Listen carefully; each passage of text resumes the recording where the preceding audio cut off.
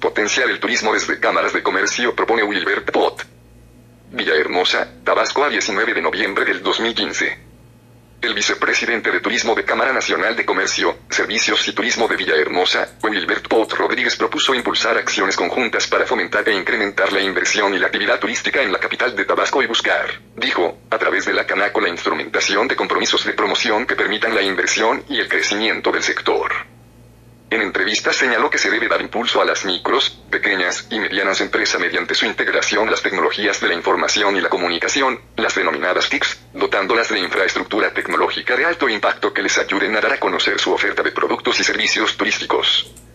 Pot Rodríguez destacó que recientemente a nivel nacional la Confederación de Cámaras Nacionales de Comercio, Servicios y Turismo, con Canaco Servitur, firmó un convenio para potenciar el quehacer turístico para trabajar en la diversificación del turismo para lograr vender diferentes destinos en el país. Ahí, subrayó, estuvo nuestro presidente Enrique Solana Sentíes, Enrique de la Madrid Cordero, secretario de Turismo, y la presidenta de la Asociación de Secretarios de Turismo de los Estados, Rosalinda Benítez González.